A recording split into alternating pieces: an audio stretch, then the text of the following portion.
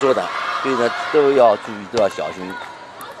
可以说是奥运会的时候是会常常见血。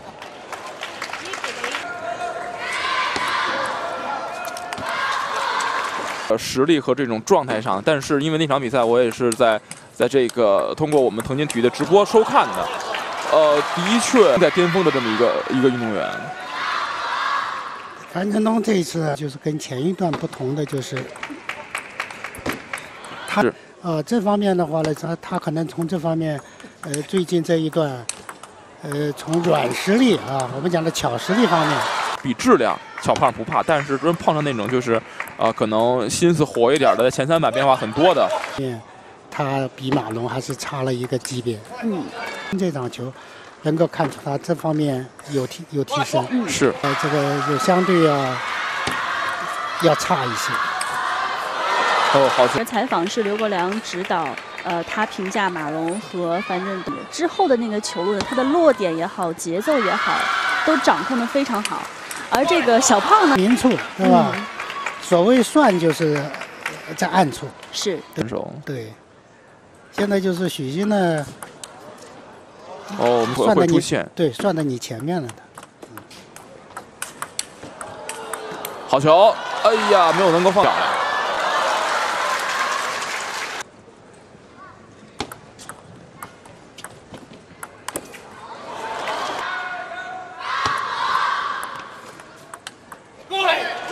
场比赛的呃得分分布，呃其实相持。基本上他们两个人现在的争夺，主要是在发接发前三板。是。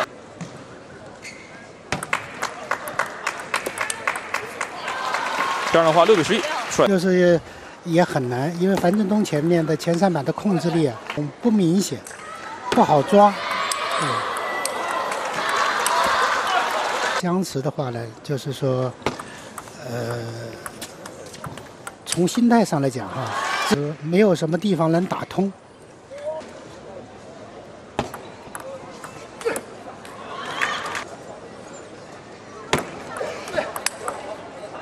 嗯，一种相持或者说质量不高的话，那就很。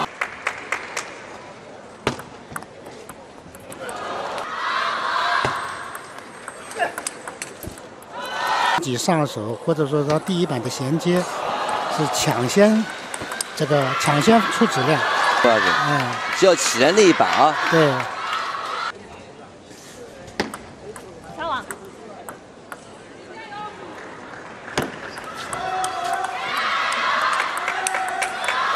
哦，漂亮。是比较熟的，所以这样你要不是很大力量要。对，一定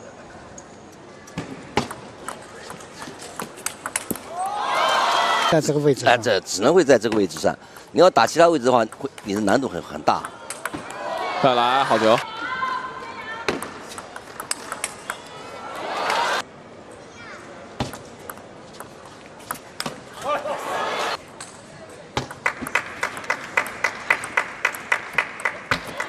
哦。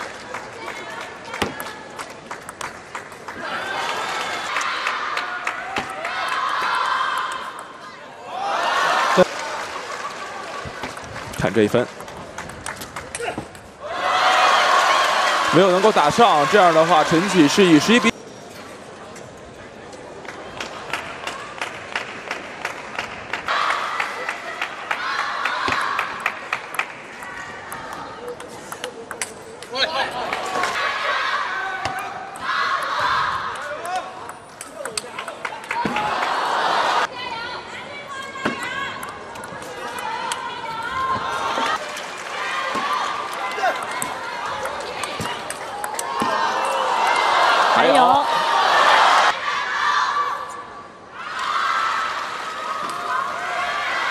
许昕这个，呃，许昕的反手，他这刚才他赢这一局也是，一啊，范振东领先。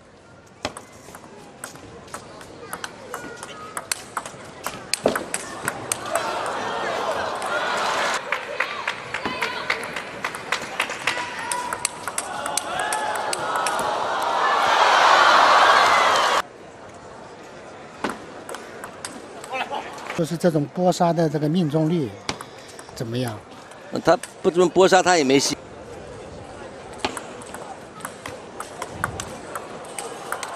唱手许昕，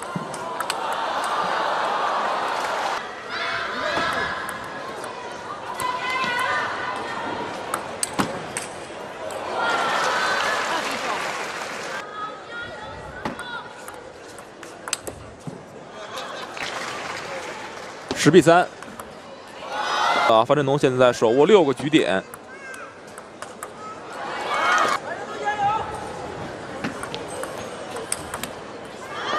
啊，咱们说新生力量还是面对一些就是正在往上走的这些年轻人，所以他还是有点松了。嗯，有点不是那么紧凑。因为许昕还没放啊，许昕并没有放弃这一局。都会走形的，主要是心态不对，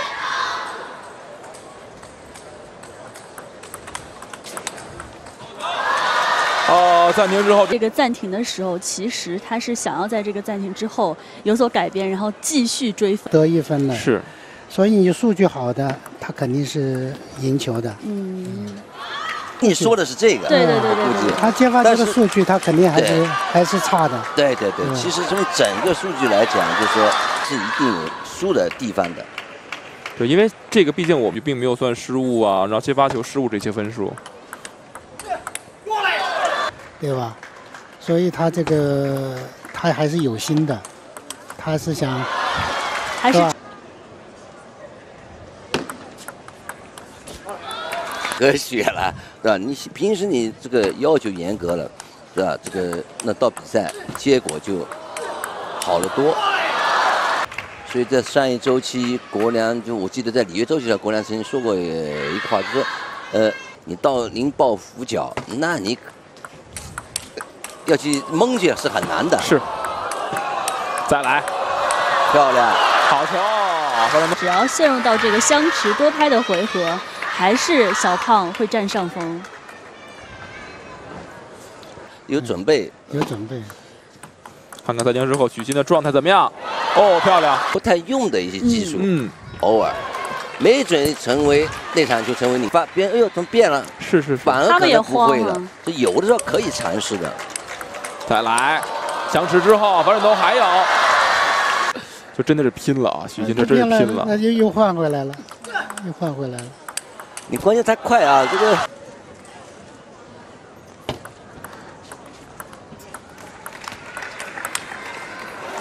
嗯，这个球是没有没有过关还。没过关。对，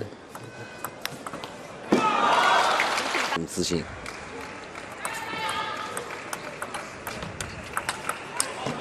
你看，